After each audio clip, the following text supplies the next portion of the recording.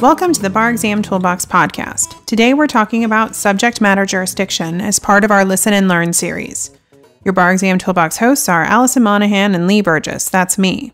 We're here to demystify the bar exam experience so you can study effectively, stay sane, and hopefully pass and move on with your life. We're the co creators of the Law School Toolbox, the Bar Exam Toolbox, and the career related website Career Dicta. Allison also runs the Girls Guide to Law School. If you enjoy the show, please leave a review on your favorite listening app and check out our sister podcast, the Law School Toolbox Podcast. If you have any questions, don't hesitate to reach out to us. You can reach us via the contact form on barexamtoolbox.com, and we'd love to hear from you. And with that, let's get started.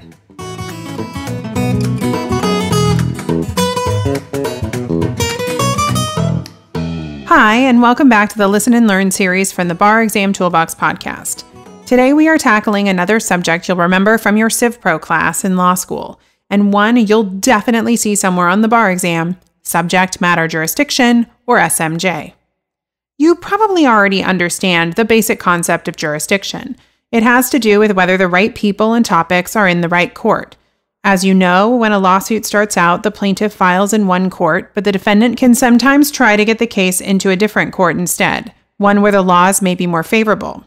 For federal subject matter jurisdiction, the question is whether a federal court is the right place to adjudicate the claims. There are two types of actions that federal courts have jurisdiction over. Those are one, federal questions, and two, diversity actions.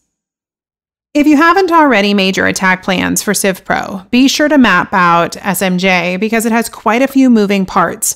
And on essays, it has a set structure that the graders want to see. Your main header, obviously, is subject matter jurisdiction, and you'll need a general rule about what SMJ is.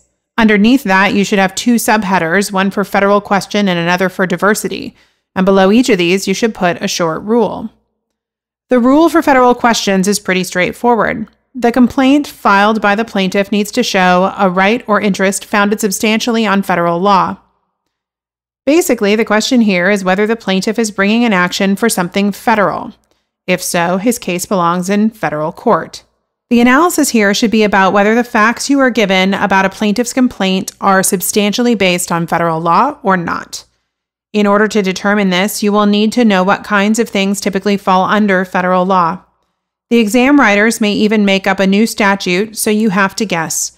But this doesn't happen all that often. The important thing is that you can argue the facts you are given and explain your reasoning. On the other hand, the rule for diversity actions, our other way of getting into federal court, is a little more detailed. This is the one that is commonly tested on bar essays. Under diversity, there are two subprongs. First, there needs to be what is called complete diversity, and second, there needs to be the right amount in controversy. These break down even further. Complete diversity of citizenship means that no plaintiff is a citizen of the same state as any defendant. Okay, now what does that mean?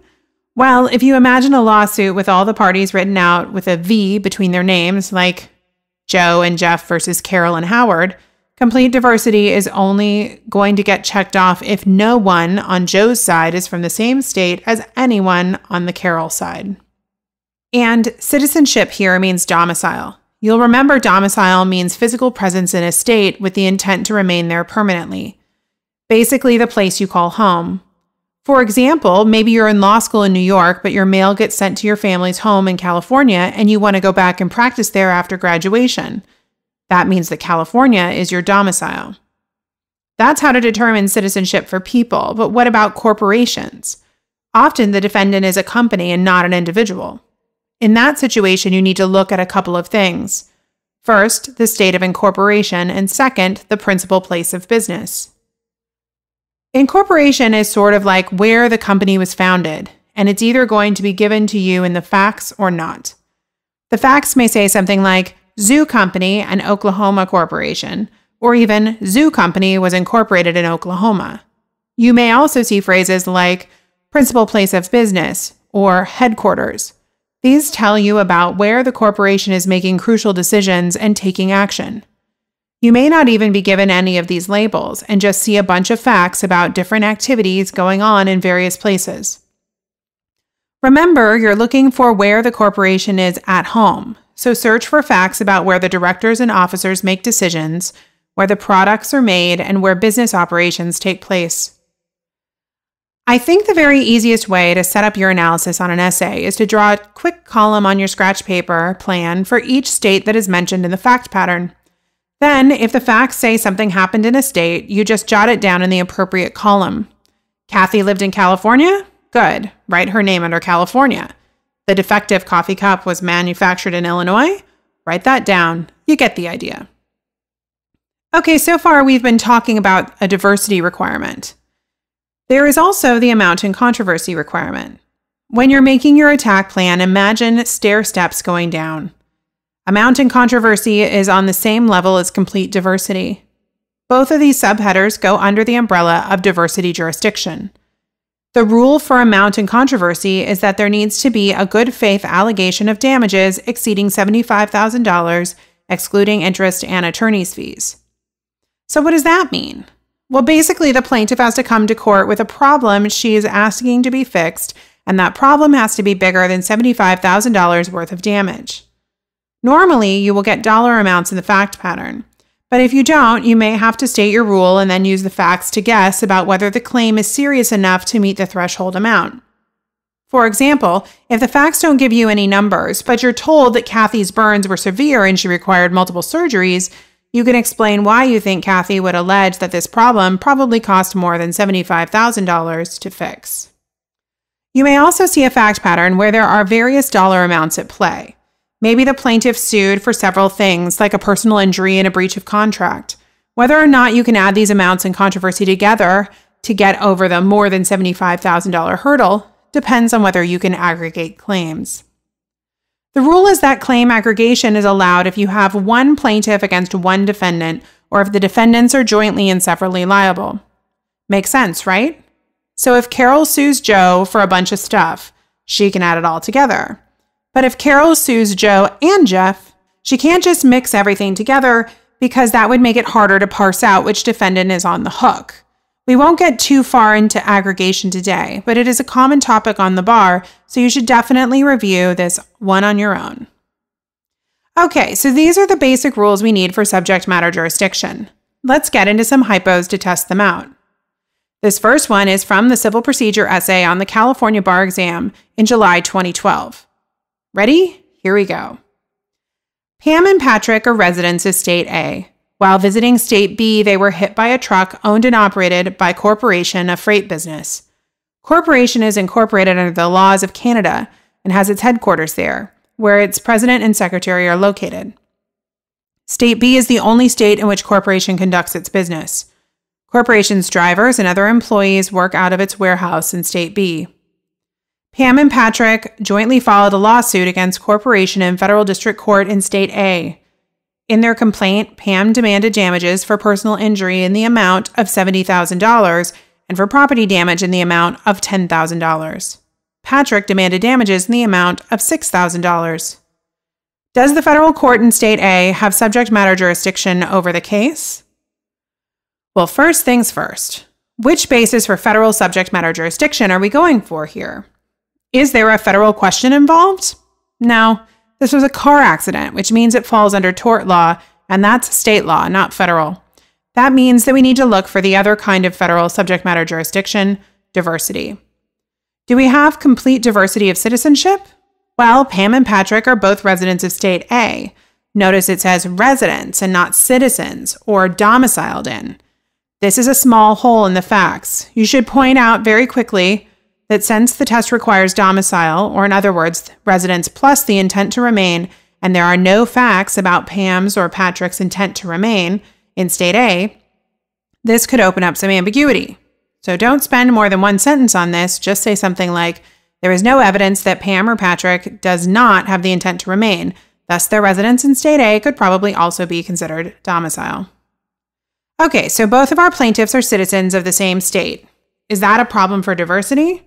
You might be tempted to say yes, but remember, the rule is that people on either side of the V need to be from different places. All the plaintiffs can be from the same state as each other, and that's not a problem. But what about the defendant?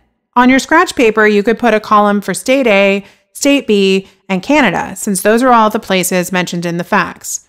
So we know corporation is incorporated in Canada. It also has its headquarters in Canada. And the facts say that the president and the secretary are in Canada as well. There's also some stuff going on in State B, like the warehouse and doing business and the drivers and employees. So, what do you think? Is Canada or State B the place of citizenship for corporation? There are enough facts that you could argue for both, but your conclusion should be Canada. Why? Because the decision making power and the actual running of the business happen there. Remember, though, the graders want to see your thought process and your analysis. So use all the facts and explain your way to the conclusion. Say what is happening in State B, and then say why it is not enough to meet the test for citizenship. Is complete diversity checked off? Well, we have two plaintiffs from State A and a defendant from Canada. So the answer is yes. No plaintiff is a citizen of the same place as the defendant. Now, the next step in the analysis is Is the amount in controversy met? Pam is alleging $70,000 in personal injuries and $10,000 in property damage. The threshold amount we need to get to is more than 75,000. Think of this as 75,000 plus 1 cent. So neither amount on its own meets the requirement. So can we add them together or aggregate? Yes, because they are claims by one person against one defendant. So since $70,000 plus $10,000 equals $80,000, and $80,000 is more than our required $75,000, Pam meets the amount in controversy requirement. I know this sounds overly simplistic to spell out such simple math, but that's exactly what you should do on the bar. Show your whole thought process and go step by step. But what about poor Patrick? He demanded damages in the amount of $6,000. That's not more than 75,000. Can he add his amount in controversy together with Pam? No, because that would be two plaintiffs against one defendant, and that breaks our rule. Now, there is another CivPro topic called supplemental jurisdiction. The rule there is basically that different claims can be tacked together when they are about the same stuff. The wording you want to remember is common nucleus of operative fact. If the two claims arise out of a common nucleus of operative fact, then they can be brought together. We don't have enough time to cover this topic today, but you should look into this on your own because it's commonly tested on the bar. There's not that much law to remember, but it can change the outcome of your analysis significantly. Suffice to say, since the same car accident involved the same location and the same people in the same event, and we're not worried about adding claims that could defeat diversity, we can say this meets the test. So Pam and Patrick could tack their claims together. The court could get subject matter jurisdiction over the case. Is everything making sense so far? Let's try another example to be sure. This one is pulled from the California Bar Exam CivPro essay from February 2009, but we've edited this a bit to highlight the subject matter jurisdiction issue. Copyco Inc., a maker of copy machines, was incorporated in State A. Its main corporate office and president are also located in State A.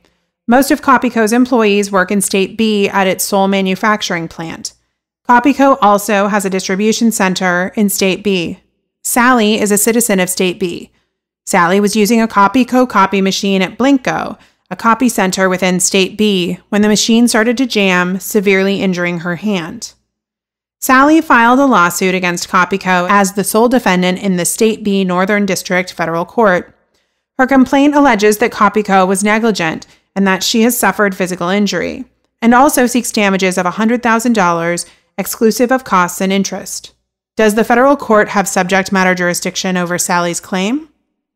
First step Is there a federal question? No. Why not? Because Sally sued for negligence and torts law is state law, not federal. Look out for clues like this on the real bar exam. It might seem like background information telling you what the lawsuit was about, but it can check off this rule element by telling you no federal questions were involved. Next, can we get into federal court based on diversity jurisdiction? Well, first, sub question there. Do we have complete diversity of citizenship of the parties? The facts say that Copyco was incorporated in State A. Easy enough. Put a column for that on your scratch paper. Add the president and the main office under State A as well. Then we are told about the bunch of things that were going on in State B. There was the sole manufacturing plant, a distribution center, and most of the employees. So, what do you think? Which facts tell us Copyco's citizenship? Well, the Supreme Court has actually ruled that what it calls the nerve center is going to win when it comes to determining citizenship. That means you should look for where the corporation has its brain power versus where it has its manpower. In this situation, state A would win because that's where the top level decisions are being made. So, is diversity defeated? Well, here we are told that Sally is a citizen of state B. That's actually more helpful than the word resident, which we saw in the hypo above. That means that Sally is domiciled in state B. So if you conclude that CopyCo is a citizen of state A, complete diversity is met. If you happen to conclude that CopyCo is a citizen of state B, remember the important thing is that you explain how you got there. On most exams, even if you get the rule and its application slightly wrong, you can still get partial credit by explaining more in your analysis and at least showing that you're applying the rule in a way that makes sense. If you got it wrong and found that diversity was destroyed, should you quit the analysis there? No, of course not. Just keep going. Next step is the amount in controversy. Sally sued for $100,000, and this is definitely more than $75,000, so easy peasy, this one gets checked off. Both the complete diversity and amount in controversy requirements are met, so the conclusion is the federal court does have subject matter jurisdiction over the case. Remember, as you prepare for your bar exam, it's important that you're well versed in the laws that tie into subject matter jurisdiction, like aggregation of claims and supplemental jurisdiction. Also, know the precise definitions for things like citizenship and domicile for people and corporations because these topics are also tested on the MBEs. Know what to do with foreign entities or things that could defeat diversity, like joinder of a party. And of course, as always, be sure to practice writing your way through lots of past bar essays so you can get comfortable applying these rules before exam day. And with that, we're out of time. If you enjoyed this episode of the Bar Exam Toolbox podcast, please take a second to leave a review and rating on your favorite listening app. We'd really appreciate it. And be sure to subscribe so you don't miss anything. If you have any questions or comments, please don't hesitate to reach out to myself or Allison at lee at barexamtoolbox.com or allison at barexamtoolbox.com or you can always contact us via our website contact form at barexamtoolbox.com. Thanks for listening, and we'll talk soon.